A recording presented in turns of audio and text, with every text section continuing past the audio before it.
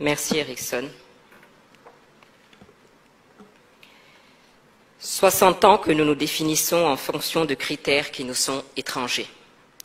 Régime pluraliste, régime de parti unique, régime libéral, régime communiste, régime socialiste, mais où est le régime adapté aux pays africains dans tout cela? 60 ans de mascarade électorale, tenez-vous bien, entre 1960 et 1989, sur 102 élections présidentielles, le président en exercice a remporté les élections avec en moyenne 92%. Les partis du pouvoir ont obtenu en moyenne 83% des voix. Et dans 29 pays sur 47 en Afrique, les partis d'opposition n'ont jamais été représentés. Et nous parlons de démocratie. Plus de 60 ans d'instabilité. Sur 486 coups d'État tentés depuis 1950 dans le monde, 214 dont 106 réussis ont eu lieu en Afrique, soit un coup d'État par an dans au moins deux États africains. Plus de 30 ans que nous copions le système de démocratie à l'occidental, 30 ans de résultats électoraux douteux, de crise post-électorale, de gouvernance inefficace. 30 ans de dépenses exorbitantes dans un océan de misère où le minimum n'est pas assuré.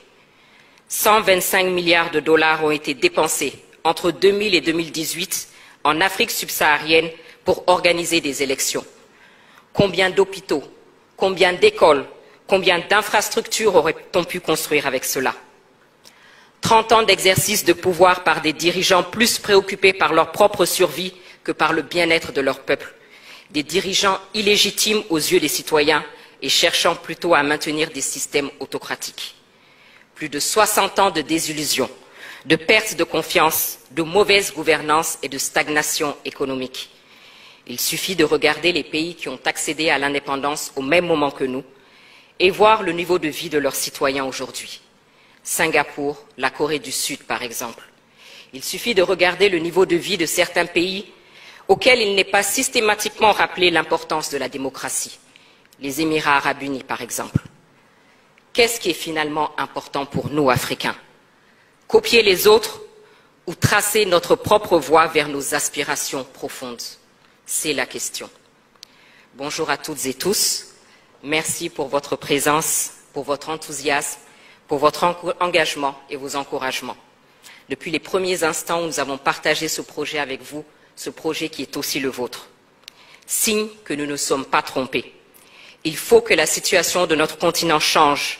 Et pour cela, il faut réfléchir, il faut construire, il faut partager, il faut convaincre et surtout, il faut agir.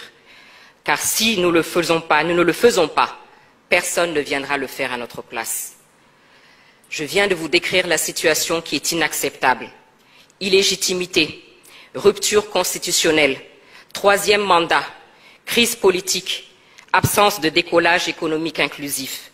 Le système de gouvernance n'est pas adapté, c'est un fait. Les modèles plaqués ne fonctionnent pas. Si le but est la gestion vertueuse de la cité par des dirigeants légitimes vers le progrès inclusif, alors il faut accepter, comme le disait Amadou Ampateba, que les hommes peuvent atteindre un but commun sans emprunter les mêmes voies. Il est temps de changer, de nous réinterroger et d'élaborer notre propre réponse, celles qui nous sont adaptées. Surtout que nous avons un riche passé, ne serait-ce que l'organisation de nos empires et royaumes.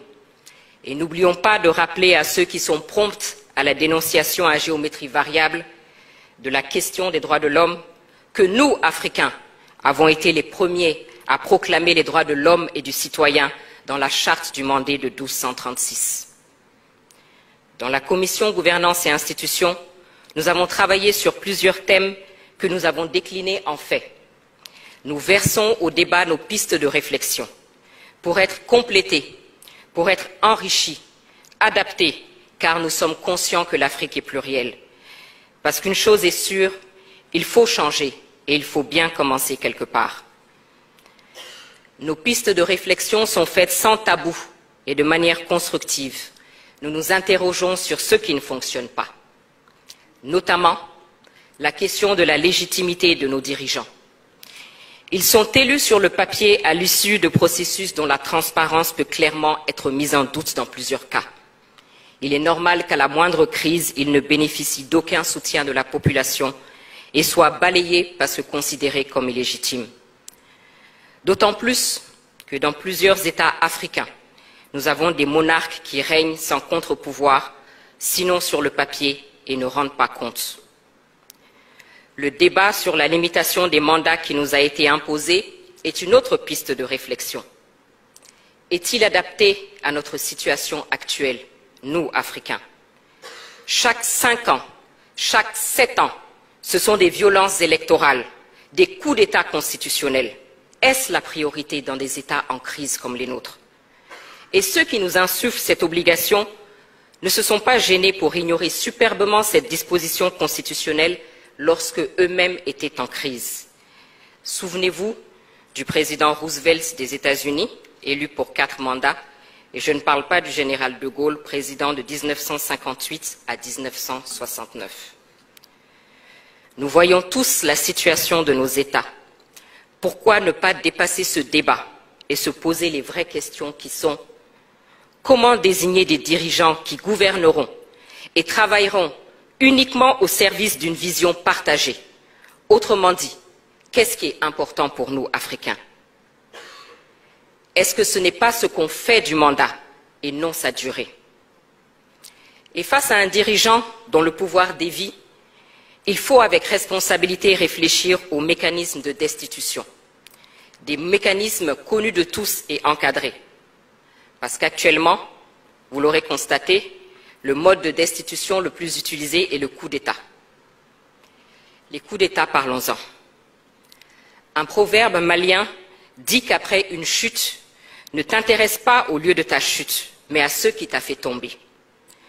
Au-delà des condamnations quasi automatiques, ne faut-il pas s'interroger sur la cause de ces coups d'État Et pourquoi ils suscitent à chaque fois un espoir de changement pour nos populations Mais également ne faut-il pas que nous arrêtions les faux fuyants et que nous considérions la question de l'armée, qui est clairement un acteur à part entière dont il faut définir le rôle À côté de nos dirigeants, la question des acteurs de la gestion de la cité, le citoyen, la société civile et les partis politiques est aussi une piste de réflexion.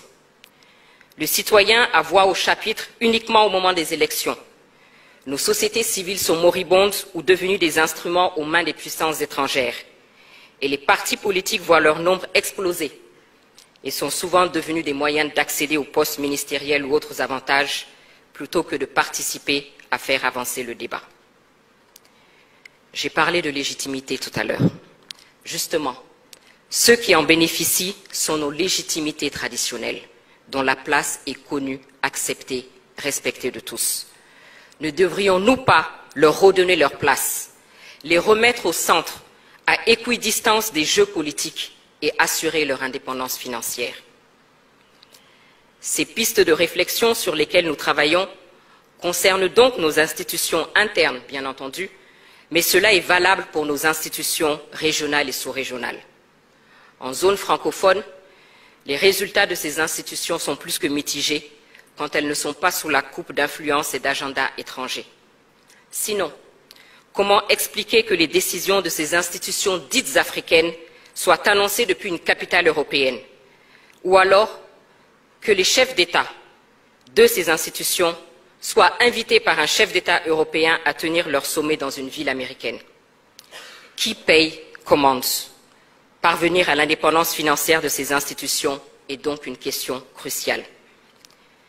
Ces pays qui tentent de nous imposer leur agenda ont tous leur politique africaine, alors que clairement, nous-mêmes ne parvenons pas à bâtir une politique africaine commune digne de ce nom, et encore moins une politique africaine du monde. Le dénominateur commun à toutes ces pistes que je viens d'évoquer est la prise de conscience et le sens de la responsabilité. Pour Patrice Lumumba, l'Afrique écrira sa propre histoire le temps est venu. Le temps est venu sans idéalisme, sans tabou, et en ayant le courage de remettre en cause certains, principes érigés en dogme et en ayant à l'esprit les besoins réels de nos concitoyens, le temps est venu de rechercher nos propres réponses. Et c'est ce que nous essayons de faire parce que personne ne viendra le faire à notre place. Je vous remercie.